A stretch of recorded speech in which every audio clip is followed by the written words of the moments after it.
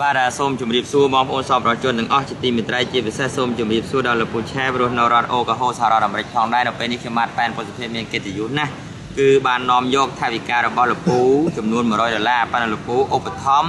ភ250ដុល្លារក្នុងនោះឧបត្ថម្ភលោកប៉ែនពុទ្ធភាពអ្នករាយការណ៍ពិសេស50ដុល្លារហើយឧបត្ថម្ភដល់ ជនរងគ្រោះនៅវត្តសាមគ្គីរាំងសីមកពីខេត្តព្រះវិហារហ្នឹងគឺ100ដុល្លារបើថវិកាខ្ញុំមិនតន់យកទៅជូនទេ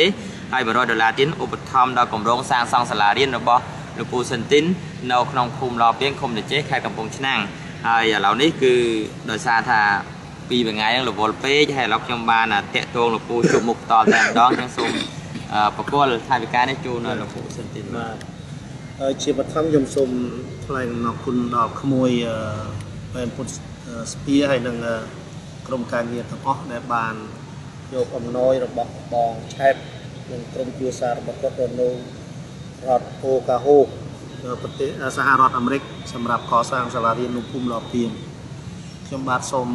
បួងសួងដល់គុណបានប្រតនត្រ័យនៃវត្ថុស័ក្តិសិទ្ធិទាំងអស់និងសូមឲ្យព្រះជាម្ចាស់ទាំងអស់ជួយថែរក្សាបងឆែបព្រមទាំងគ្រួសាររបស់បងសូមឲ្យជួបតែសេចក្តីសុខសេចក្តីចម្រើន គ្រប់ពេលកុំបីខានឡើយហើយបច្ច័យ100ដុល្លារនេះខ្ញុំបាទនឹងយកបន្ត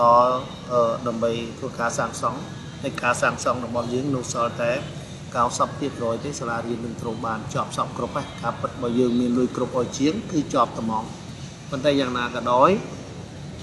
សូមជម្រាបដល់បងប្អូនសពរដ្ឋជននៅសហរដ្ឋអាមេរិកក្តីនៅប្រាំងនៅបារាំងក៏ដោយនៅអូស្ត្រាលីនៅកាណាដា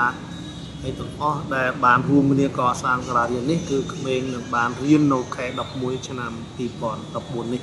ដូច្នេះសូមមេត្តាជ្រាបសូមអរគុណបាទសូមជម្រាបលាបាទសូមជម្រាបលា